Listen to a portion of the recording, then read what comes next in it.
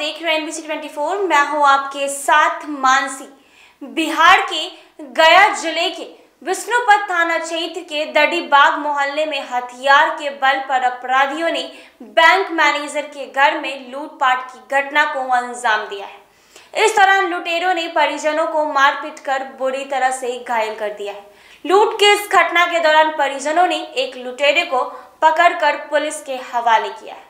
Police मौके पर पहुंचकर मामले की छानबीन कर रही है। पीड़ित अजय कुमार कैनरा बैंक में मैनेजर के पद पर तैनात है, जो दंडी बाग मोहल्ले के रहने वाले हैं। घटना के संबंध में अजय कुमार ने बताया है कि बीती देर रात बच्चों के कमरे से रोने की आवाज़ आई। पत्नी को देखने के लिए भेजा, इतने में पत्नी भी रोने की आवाज़ आई। अब जब बच्चों के कमरे में गए तो देखा कि तीन लुटेरे पत्नी व बच्चों के साथ मारपीट कर रहे हैं। लुटेरों ने सभी को गन पॉइंट पर ले रखा था। हमने इसका विरोध किया और लुटेरों से भिड़ गए। लुटेरों ने हम पर फायरिंग भी की, लेकिन पिस्तौल से फायरिंग नहीं हो पाई। हो हल्ला सुनकर आसपास के लोग भी सारे इकट्ठा हो गए। आसपास के लोगों को आता देख दो लुटेरे भाग गए। जबकि एक लुटेरे को पकड़कर हमने पुलिस के हवाले कर दिया है। उन्होंने कहा है कि घटना बीती देर रात्रि लगभग दो बजे के आसपास की है। विष्णुपत थाना की पुलिस मामले की छानबीन में जुट गई है। घटना का सीसीटीवी फुटेज भी पुलिस को उपलब्ध कराया गया है। वहीं इस संबंध में पीड़ित बैंक मैनेजर की पत्नी रिंकू कुमारी ने कहा है कि तीन की संख्या में रहे अपराधियों ने घटना को अंजाम दिया है। हम लोग के साथ बुरी तरह से मारपीट की है। एक लाख की नकदी सहित सोने चांदी के जेवरात की लूट हुई है।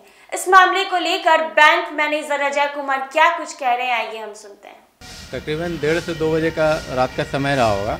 दोनों, बच्चा मेरा एक साथ सोता है और हम लोग दोनों हस्बैंड वाइफ नीचे सोते हैं। तो रात में बच्चा लोग के रोने का आवाज़ आने लगा। तो हम वाइफ को बोले कि लगता है कि बच्चा लोग झगड़ा कर रहा है बहुत ज़ोर ज़ोर से तो जा कर के देख को समझा दो, जरा दोनों रो रहा है। तो फिर थोड़ा देर बाद देखे कि वाइफ के भी रोने का आवाज़ आने लग गया। हम हड़बड़ा करके ऊपर उठ करके गए तो देखे कि बेटा पे मेरा एक विशाल के बट करके वहीं पर का लड़का है, मलाह का, वो पिस्टल ताने हुए है, बेटा के सर से खून आ रहा है वाइफ को एक आदमी मार रहा है और एक आदमी बेटी को मार रहा है लोहा के रट से। हमको कुछ समझ में नहीं आया, हम जा करके बस उन लोग को मारना शुरू कर दिया। देखे पहले पिस्तौल छीनने का प्रयास किए, पिस्तौल छीनाया नहीं, लेकिन हमारे ऊपर फायर किया। लेकिन फायर मिस हो गया, गोली चला नहीं, उसके बाद फिर मारा मारी होने लगा हम थे, हमारी वाइफ और दोनों बच्चा भी फिर झगड़ा करने लगा उन लोग से। और शोर शराबा हो गया था बगल से पड़ोस में सुनील भैया। सुनील भैया बोले, क्या हुआ क्या हुआ? तो बोले कि, भैया से डकैत घुस गया, घर में से जल्दी आइए। तो फिर इतना देर में अफरा तफरी मचने में हो गया कि वो लोग भी तीन आदमी से आ गए। और बाकी दो आदमी तो निकल गया, लेकिन एक लड़का को हम लोगों ने पकड़ लिया, पकड़ करके एक डकैत को विष्णुपत थाना को सुपुर्द कर दिया। थाना सर आया है पकड़ के उसको ले गया और उसके बाद इंजरी काट के दिया है कि इंजरी करा के आइए फिर थाना में अप्लीकेशन दीजिएगा। कितने की संख्या में थे? हमारे अंदर घर के अंदर तीन था सर बाहर का मालूम नहीं। अब उनकी पत्नी रिंकू कुमारी क्या कुछ कह रही हैं आइए हम सुनते हैं। घटना हुआ कि आया तो उसको मैंने पकड़ने लगे और बेटा से सब लेके और सब सामान लेके भाग गया। डिमांड वही कि पैसा दो तो फिर बेटा गोदरेज खोला का कि खोलो और दो। और जब हम पकड़ने लगे दो गो था जब पकड़ने लगे तो वो सब छीन उनके सब भाग गया। और एगो के पकड़े। वही मारना क्या क्या छीना कान का टॉप था गला का था और नगद पैसा था और मोबाइल दो। टोटल कितने की होगी?